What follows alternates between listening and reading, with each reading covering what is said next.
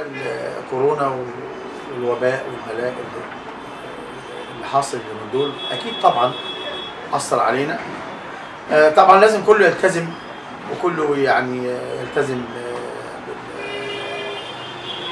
بال- بالأوامر اللي الحكومة بتفرضها وزارة الصحة ومنظمه الصحة العالمية نلتزم بيها عشان إن شاء الله الأزمة تعدي على خير وإن شاء الله بإذن الله هتعدي على خير وبسلام بإذن الله.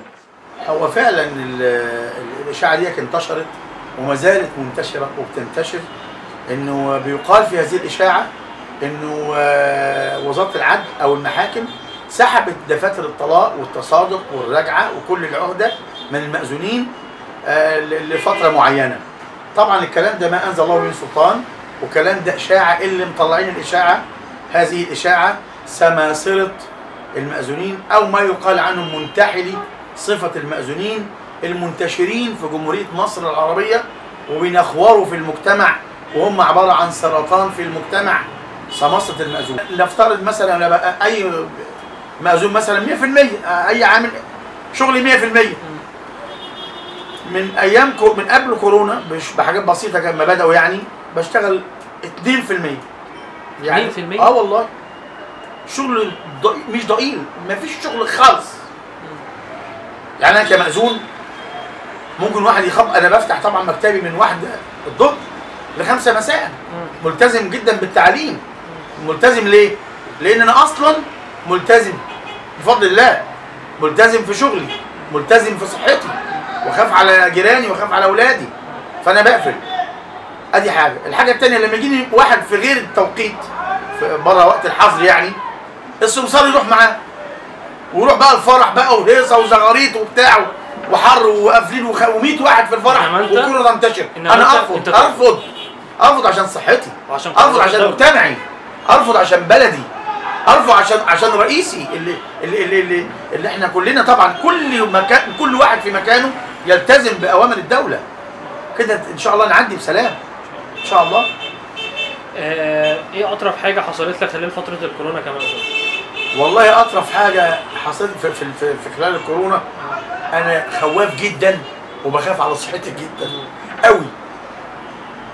فأنا من طبيعتي بقول كلمتين بتاع كده يعني أي. فأنا متفق العريس أنا قلت له في التليفون الزوج يكون حاضر في البيت طبعا الزوج وفي البيت عندي. الزوج والزوجة والوكيل والاثنين شهود فقال لي معلش يا عم الشيخ إحنا عاملينها بس على الضيق وبتاع وفي مكان كده يعني في البيت وكده ومعلش تعالى معانا البيت. يا عم أنا ما بروحش البيوت وبتاع والكلام ده مش هينفع. قال لي ده حاجة بسيطة يعني. بس إحنا متفقين على خمسة أو ستة بالكتير. وأنا بقى هنظمهم بقى ولابس الكمامة. أنا مرتدي الكمامة. الكمامة بتاعتي إيه؟ على طول ماشي بالكمامة. وأنا أول ما رحت من ع... من على باب البيت لقيت زحمة رهيبة. يا خبر أسود وحر موت وأنا جبان وخواف بخاف بخاف جدا. والفيروس منتشر. فرحت لافف ظهري وهمشي. راحوا ماسكيني. تعالى يا عم الشيخ قال الشيخ صلاح جه. الشيخ صلاح جه. دخلت قال لا ده جوه مفيش أي حاجة. الأوضة تمام. دخلت على الأوضة لقيت زحمة نار زحمة رهيبة. أنا بس قلت الحمد لله رب العالمين هخرج من هنا على الحجر الصحي. ملهاش حل. طب أعمل إيه؟ طبعا ال- الحياة حلوة. قلت لهم أنا معلش نسيت دفتر الجواز في البيت. أنا نسيت وجبت معايا دفتر مراجعة. يعني اديني بس 10 دقايق. واحد يجي معايا. لا اذهبوا لي كلمتين طب قول الإشهار طب قول ما دقيقة بس. حد يجي معايا. رحت طالع أنا راكب عربيه البيت بره على الشارع. رحت طالع بره الناس كلها جريت ورايا. أنا أجري هم يجروا. أنا أجري ويشدوا مني في الشنطة وأنا قلت لهم لا يمكن. هتكتبوا تكتبوا في الاسم بقى تروح بقى. موتوني هنا. أنا مش خايف. وفعلا مشيت.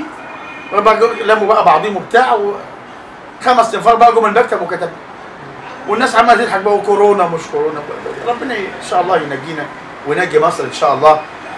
وبإذن الله إن شاء الله مصر هتبقى يعني آه، بلد طيبة وبلد جميلة ومذكورة في القرآن الكريم وهيحفظها ربنا.